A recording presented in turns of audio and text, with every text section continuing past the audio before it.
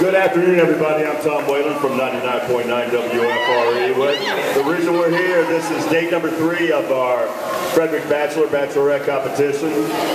And we've been here since 2 o'clock. We've been through two phases. They took some guitar lessons at Duet with Music. And Steve Nicole, you guys look uh, a little stunned. They went to the FMH Wellness Center, get, get a rub down, something like that? Nice. Nice. So you ready to go? Phase three is going to be laser tag at Shadowland.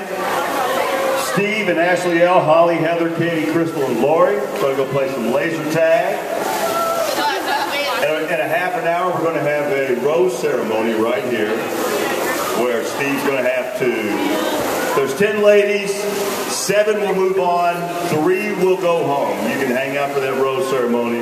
That's going to be right at 345. I want to thank uh, Francis Scott Key Mall for hosting our bachelorette bachelor competition because there's so much to do here at the mall. Laser tag health, you can do, do anything you want to. Plenty of places to eat.